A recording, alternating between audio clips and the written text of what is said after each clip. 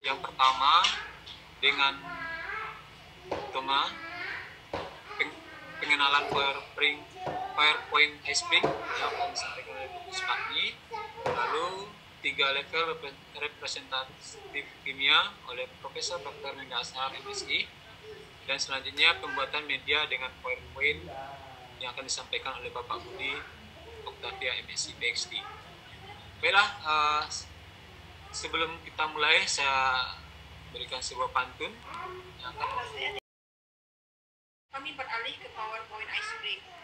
Jadi penambahannya adalah ice springnya ini Bapak dan Ibu. Kalau kita lihat PowerPoint, sebenarnya eh, sekarang sudah lebih kaya fitur-fiturnya karena dan sekarang bukan hanya untuk presentasi. Jadi PowerPoint sebenarnya kita juga bisa gunakan dia sebagai program animasi. Kita bisa menganimasikan konsep-konsep kimia di dalamnya.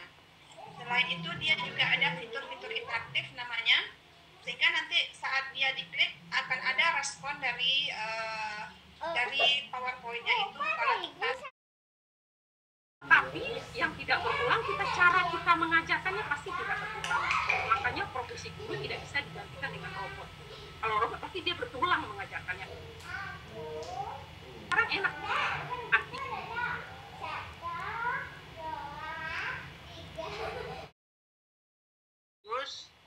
terus yang lainnya efek opsionalnya smooth smoothnya dihilangkan.